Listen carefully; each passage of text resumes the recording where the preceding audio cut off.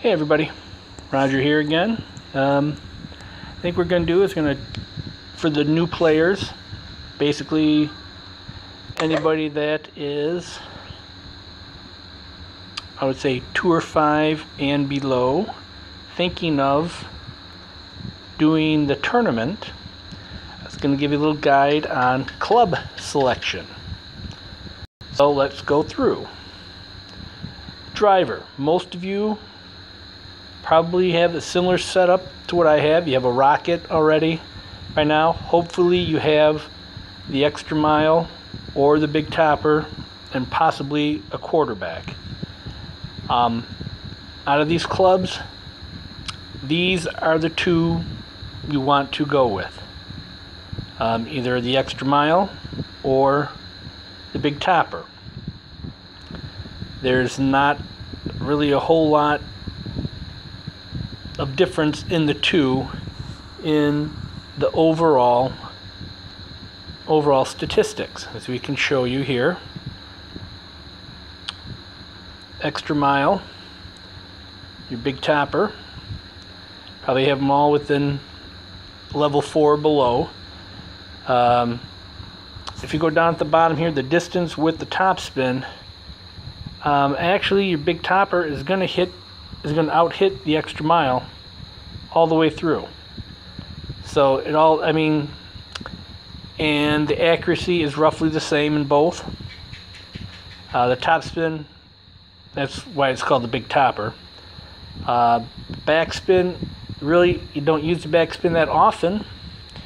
Um, but one thing you do need and do kind of use is curl, where the big topper definitely has a big advantage. So, when choosing your club, you can, the thing to do is to maybe match it up with your wood. Um, probably most of you have either either the Viper the Big Dog, possibly the Horizon. if you're really lucky, you have a Hammerhead. Um, but you can match them up, you know, however you want. The um, the big topper, like I said, on the par fives, maybe go with the big topper, so you get that extra length. Um, on the par fours, stick maybe stick with the extra mile. Um, it's you know one it's really your preference.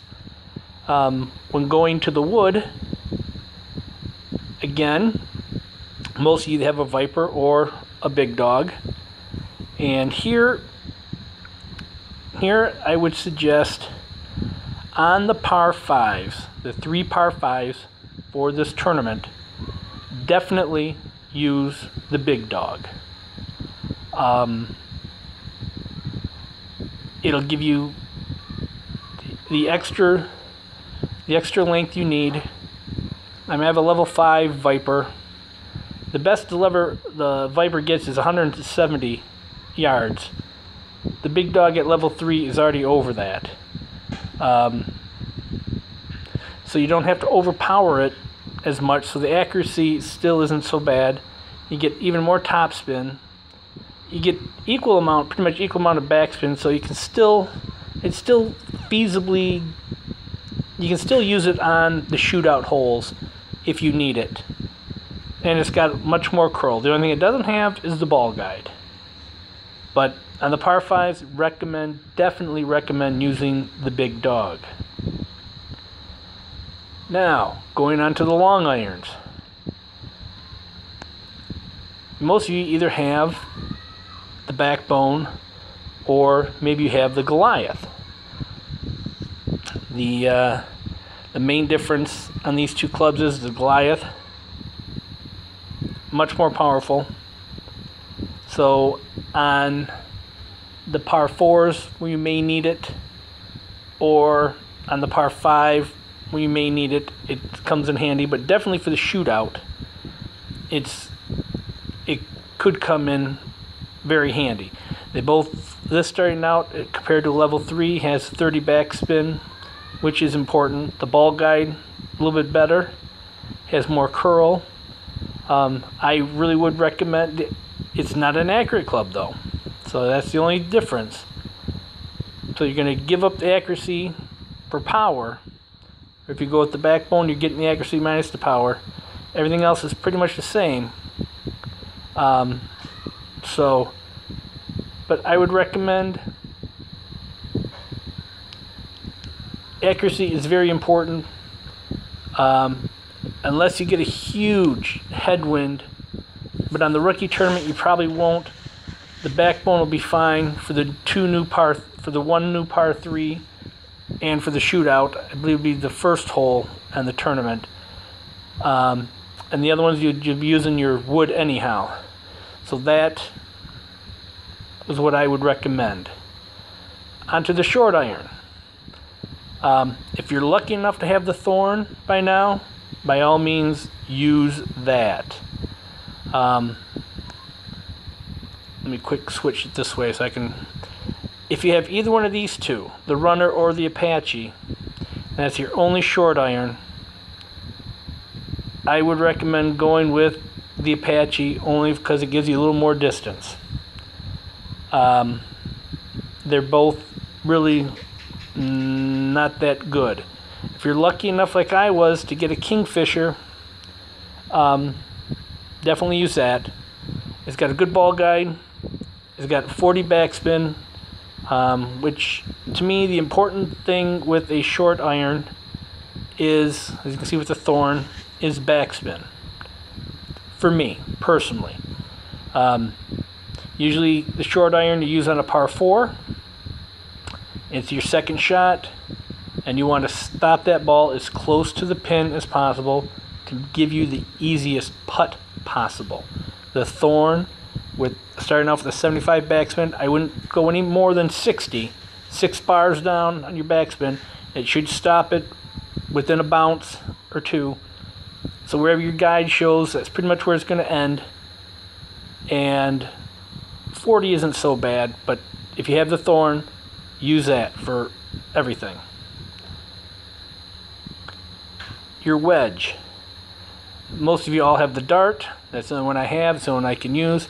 I'm hoping to get the Firefly relatively soon, um, mainly for the ball guide. Especially, I'd like to get it before the tournament, but I doubt that'll happen. Um, I may end up getting it after the tournament if I play, place high enough up.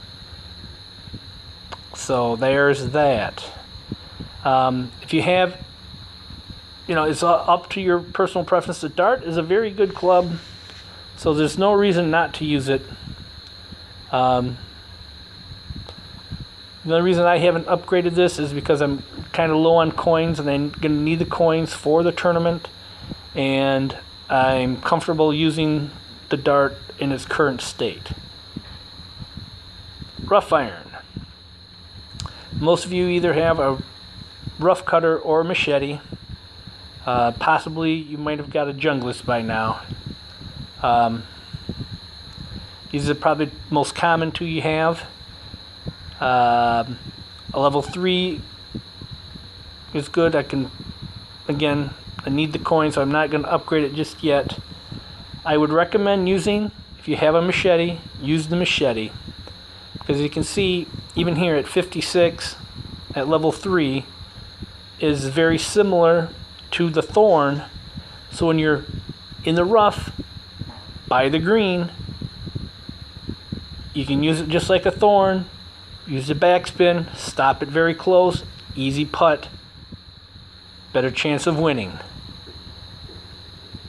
Onto a oh another thing I forgot. If you have any chance, if you're lucky enough to have the off-roader, uh, by all means, you should be using that until you can get, in my opinion, the Nirvana.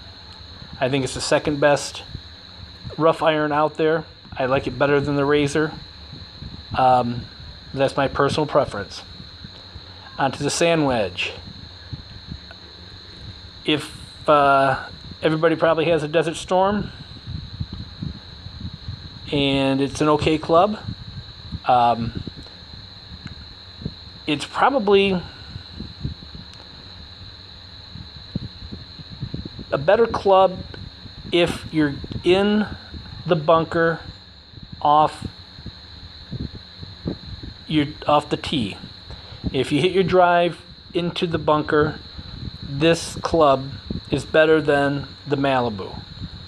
That's the only place it's better. Uh, because of the topspin, you can get a lot more distance with it versus the Malibu. If you find yourself in the bunkers closer to the green, then you want to use the Malibu by all means. It's probably until you can upgrade a lizard, the sand lizard, up around level I think seven maybe. Um, that's when the sand lizard becomes a really good club too. But those are probably the two. If you have the castaway, um, over the Malibu, no. Um, the Castaway versus the Desert Storm. You can make an argument for it, yeah. Probably. Probably, yeah. You could use a Castaway over the desert over a Desert Storm. So there you have it. I hope this is helpful. And um, if you have any questions, you know, just leave a comment. Um, subscribe to the channel, to my channel, and uh, as always, thanks for watching, and see you on the course.